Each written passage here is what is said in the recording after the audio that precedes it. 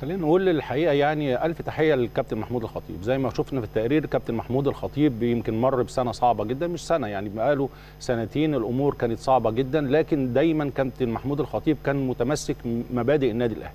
وأنا شايف خلال يمكن فوزنا ببطولة افريقيا والدوري والكاس هو ده اللي جناه كابتن محمود الخطيب من تمسكه بمبادئ النادي الاهلي وبيدي درس لكل من يريد ان يتعلم كيفية الإدارة بشكل بشكل أكتر من رائع.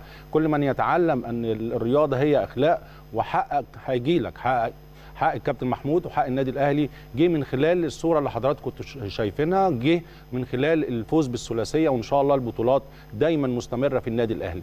خلينا نتكلم كمان وجود الكابتن محمود وسط كوكبة كبيرة جدا من العالم النهارده وحرصه الحقيقة على تواجده موجود وكمان بيقول كابتن محمود الخطيب بيوجه عدة رسائل من خلال كلمته نقلها للعالم كله بتوضح فيه قيمة النادي الأهلي.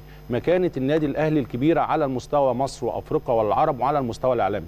وإزاي زي ما قلت لحضراتكم إن الكابتن محمود الخطيب كان النهارده سفير للكرة العربية والكرة المصرية والأفريقية وكمان سفير للكرة العالمية.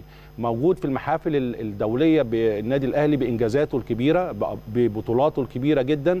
بيضاهي أعظم أندية العالم. بنتكلم على ريال مدريد بنتكلم برشلونة بنتكلم البايرن.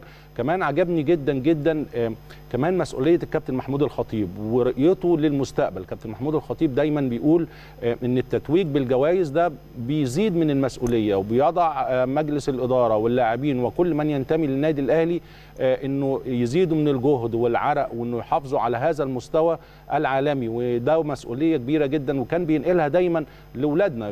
يعني تفتكروا بعد البطولة الأفريقية وفوزنا بيها كان أول رسالة كابتن محمود الخطيب بيوجهها للعيبة والجهاز الفني إحنا لسه عندنا والبطولة ديت بتديكم مسؤولية بتحملكم مسؤولية أكبر. فهو ده النادي الأهلي وهو دي مبادئ النادي الأهلي.